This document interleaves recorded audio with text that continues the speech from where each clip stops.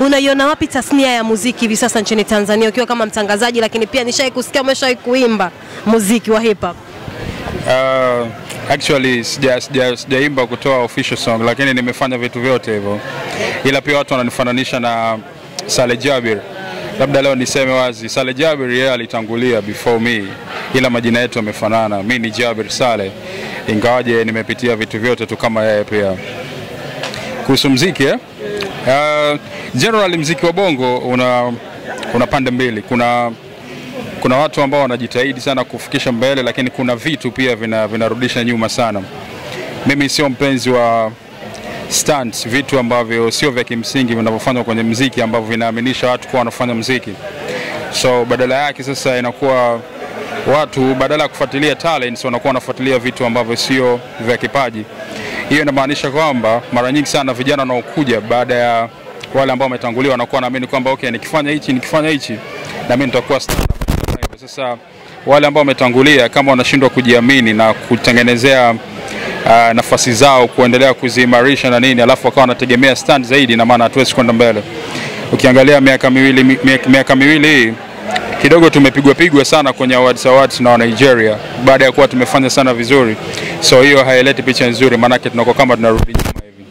Lakini pia kwa media nafikiri sisi watu wa media tuna kazi moja ya kufanya, tuache kusupport visivyokuwa vya msingi na tusupport vya msingi.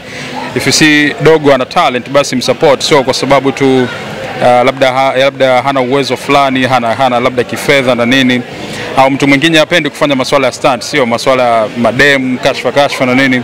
Kwa hiyo mtu mwenye talent basi apoe talent, na tuache sana vitu vya hizi stunt stunt za kijinga ambazo zinakuwa hazina maana. By the way, mziki hauko vibaya sana, lakini pia bado tuna kazi kubwa ya kufanya kulinganisha na wenzetu. Tumeona sasa hivi kuna wimbi la wasanii kufungiwa ngoma zao na wasanii kupata hofu. Ukiwa kama mtangazaji, inakupa taswira gani hasa katika mziki wa Tanzania?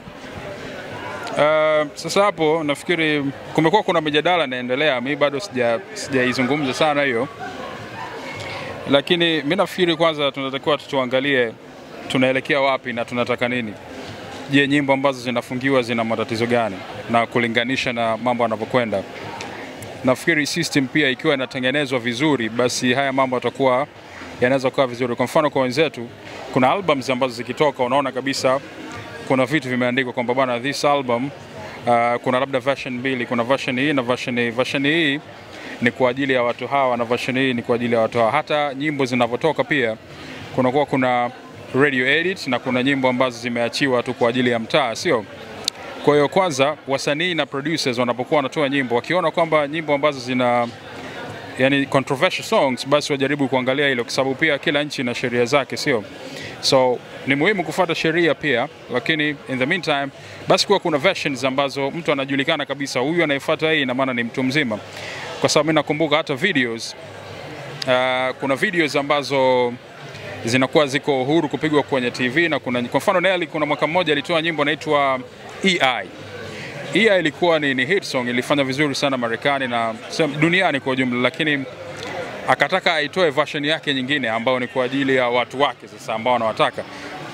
That version haikuwa hata ukienda YouTube huwezi kuiona, lakini ni ipo, ni video ambayo ipo na watu wanaendelea kuiangalia na inaitwa nafikiri waliita Tip Drill baadaye ikiwa ni remix elevation.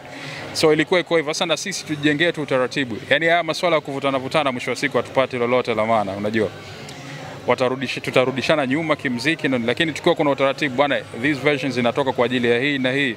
Nafikiri ni wakati sasa, kwa sababu mziki si umekuwa. Kwa hiyo kama wenzetu wanafanya hivyo, kwa nini sisi tusifanye?